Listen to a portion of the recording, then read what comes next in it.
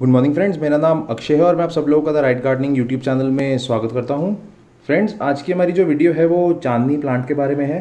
जी हाँ ये जो वैरायटी आप मेरे सामने देख रहे हैं ये आ, मिनी चांदनी प्लांट है। इसको पिनवील चांदनी प्लांट के नाम से भी जाना जाता है। पिनवील फ्लावर के नाम से अगर आप इसको नर्सरी पर मांगेंगे तो आपसे आपको मिल जाएगा। और अगर चांदनी के नाम से मांगेंगे तो आपको मिल ही जाएगा। छोटी चांदनी अगर आप मांगेंगे तो उसके हिसाब से भी मिल जाएगा आपको। क्योंकि चांदनी की दूसरी वेराइटीज़ भी होती हैं, जिसका जो पत्ता होता है वो थोड़ा बड़ा होता है और बहुत बड़ी बुश के फॉर्म में वो ग्रो करता है। ये वाला थोड़ा छोटा डॉर्फ वेराइटी है तो ये छोटा रहता है। तो आज हमारी वीडियो इसी के प्लांट केयर के बारे में होगी फ्रेंड्स तो प्लीज़ पूरी वीडियो देखिए और अगर आप लोगों ने मेरा चैनल सब्सक्राइब नहीं करा है तो प्लीज़ कर लीजिए ताकि आपको रेगुलरली प्लांट अपडेट्स मिलते रहें। तो चलिए शुरू करते हैं फ्रेंड्स सबसे पहले मैं आपको बताता हूँ कि इसको ग्रो कैसे किया जा सकता है। आप या तो इसको कटिंग से ग्रो कर सकते हैं। अभी जैसे बरसात का मौसम चल रहा है तो आप इसको अच्छी सी कटिंग लेके इसकी, छोटी सी तो इसको ग्रो कर सकते हैं। बहुत ही आसानी से ये ग्रो हो जाएगा। मैं वैसे ये वाला प्लांट नर्सरी से लेके आया हुआ था। मुझे तकरीबन ट्वेंटी रुपीज़ का प्लांट मिला था ये नर्सरी से। तो और जो प्लांट का प्राइस डिपेंड करता है कि आप कौन सी लोकेशन में रहते हैं। कई जगह प्लांट्स महँगे मिलते हैं, कई जगह सस्ते मिलते हैं। तो जब मैं इसको लेके आया था तो मैंने इसको प्लांट में जब ये पॉट में लगाया था तो इसका जो लीव्स थी वो साइड से बहुत ब्राउनिश हो जाती थी, जल रही थी। तो मैंने इसको बहुत तेज़ धूप में रखा हुआ था, जो आफ्टरनून की सनलाइट होती है उसमें। तो उससे मैं आपको ये रेकमेंड करूँगा कि आप इसको ऐसी जगह पे रखिए जहाँ पे थोड़ा सेमी शेड हो। डायरेक्ट एकदम चुभती हुई धूप ना हो गर्मियों वाली। सर्दियों में तो ये थोड़ा बहुत चल जाएगा। और वैसे भी इसकी जो ब्लूमिंग टाइम होता है, वो रात में ये वाइट कलर के सुंदर सुंदर आप जैसे फ्लावर देख रहे हैं, ये फ्लावर होते हैं, रात की टाइम में ये फ्लावर करता है।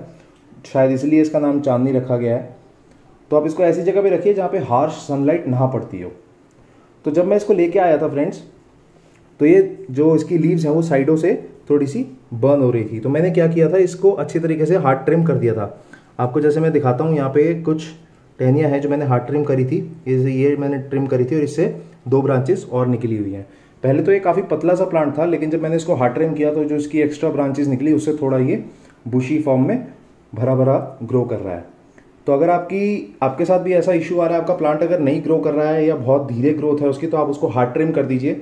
लेकिन आप ये ध्यान रखिए कि आप कौन से मौसम में हार्ड ट्रिम कर रहे हैं। मैं इसको तकरीबन गर्मियों में लेके आया था, तब मैंने इसको हार्ड ट्रिम किया था। तो मानसून में पानी, बारिश का पानी जब बढ़ा तो ये अच्छी तरीके से ग्रो कर रहा है और अब फ्लावरिंग भी कर रहा है। अगर आप इसको सर्दियों में हार्ड ट्रिम कर देते हैं तो सर्दियाँ इसका ग्रोथ पीरियड नहीं है। ये अच्छी गर्मियों में अच्छी तरह से ग्रोथ करता है तो सर्दियों में आपको शायद इसकी ग्रोथ देखने को ना मिले। अब मैं बात करता हूँ फ्रेंड्स इसकी सॉइल के बारे में। आपको सॉइल कैसी रखनी है इसकी? इसकी सॉइल आपको जैसे मैं हर पौधे के बारे में बताता हूँ वेल ड्रेंड होनी चाहिए, पानी नहीं रुकना चाहिए इसके पौधे में गमले में।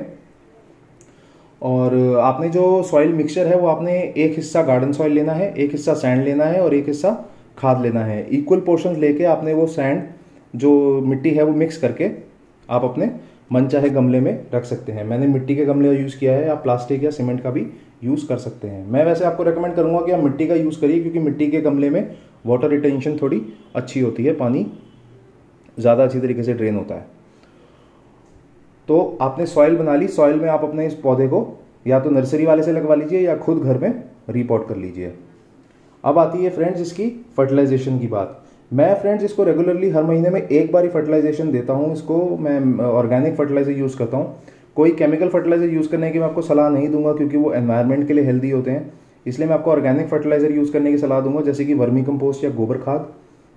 आप दूसरे घर पे बने हुए फर्टिलाइज़र भी यूज़ कर सकते हैं, जैसे चाय पत्ती यूज़ कर सकते हैं, या आप केले के छिलके का पानी यूज़ कर सकते हैं। वो भी मैं बाकी दूसरी वीडियोज़ में बनाऊँ, बताऊँगा कि आप कैसे ये फर्टिलाइजर्स यूज़ कर सकते हैं और बना सकते हैं, ताकि आप अपने प्लांट्स में इसको अप्लाई कर सकें। बाकी चीज़ मैं बताता हूँ फ्रेंड्स इसमें वाटरिंग कैसे करनी है? इसमें वाटरिंग का कुछ ज़्यादा इशू नहीं है। वाटरिंग आप इसको डेली करिए। लेकिन आपने ध्यान रखना है कि इसकी जो मिट्टी है ना ज़्यादा सूखे और ना ही ज़्यादा सौगी हो। क्योंकि अगर आपके पौधे की, किसी भी पौधे की मिट्टी अगर एकदम से सूख जाती है और फिर उसमें आप पानी देते हैं या उसको बहुत दलदली कर देते हैं तो इससे जो पौधा होता है वो स्ट्रेस में आ जाता है। उसका जो लीव्स होती हैं वो येलो होके गिरनी शुरू हो जाती हैं और उसकी ग्रोथ पे बहुत असर होता है। वो फ्लावरिंग भी अच्छे से नहीं कर पाता। ये स्ट्रेस होते हैं, ये स्ट्रेस सिग्नल्स होते हैं। अगर आप कभी भी देखें अपने पौधे की, पत्तियाँ अगर येलो हो रही हैं तो ये स्ट्रेस सिग्नल्स होते हैं। और वो मेजोरिटी ऑफ़ द टाइम पानी या ओवर वाटरिंग या अंडर वाटरिंग की वजह से ही होते हैं। अब मैं आपको बताता हूँ फ्रेंड्स इसकी डिजीजेस के बारे में। डिजीजेज ऐसा जिसमें कुछ ज़्यादा लगती नहीं है। कभी कभी इसमें स्पाइडर माइट्स अटैक करते हैं तो आप उसको स्पाइडर माइट्स को हटाने के लिए आप नीम ऑयल का स्प्रे कर सकते हैं। नीम ऑयल के स्प्रे से आपके इसमें कोई भी कीड़े नहीं लगेंगे। तो मैंने आपको सारी बातें इसमें बताई हैं फ्रेंड्स इसमें आपको वाटरिंग कैसे करनी है फर्टिलाइजेशन कैसे करनी है, आप इसको ग्रो कैसे कर सकते हैं सनलाइट कितनी चाहिए इसको, और इसमें बेसिक केयर टिप्स क्या क्या फॉलो करें ताकि आपका प्लांट हेल्दी रहे। ये टिप्स आप अपने चांदनी प्लांट में फॉलो करिए फ्रेंड्स और अगर आपको कोई भी इशू आता है आपके प्लांट में तो आप प्लीज़ कमेंट सेक्शन में कमेंट डालिए, मैं उसका जवाब दूँगा आपको। और ऐसे ही प्लांट वीडियोस के लिए मेरा चैनल सब्सक्राइब कर लीजिए, ताकि आपको रेगुलरली अपडेट्स मिलते रहें। तब तक के लिए अपना पौधा उगाते रहिए फ्रेंड्स सारे पौधे उगाइए और अपना बहुत सारा ध्यान रखिए। Thank you friends good bye